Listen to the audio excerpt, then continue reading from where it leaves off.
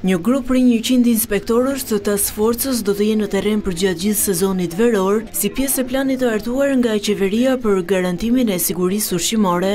Nga Durrësi, ministrja e Bujqësisë Frida Krifca u bëri thirrje bizneseve turistike të respektojnë kushtet higjieno-sanitare.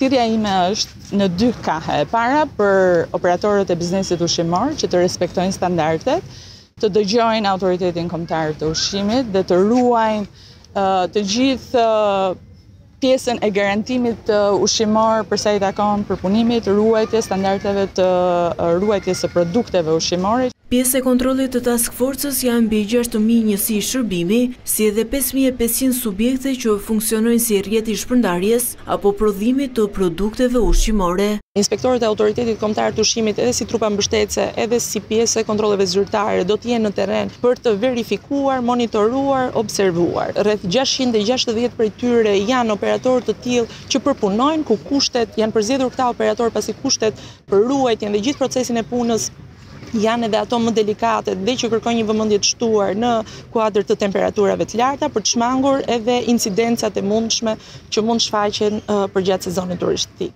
Task Forca do të jetë në terren deri më pesëmbëdhjetë shtator, kohë që përkon me mbylljen e sezonit veror.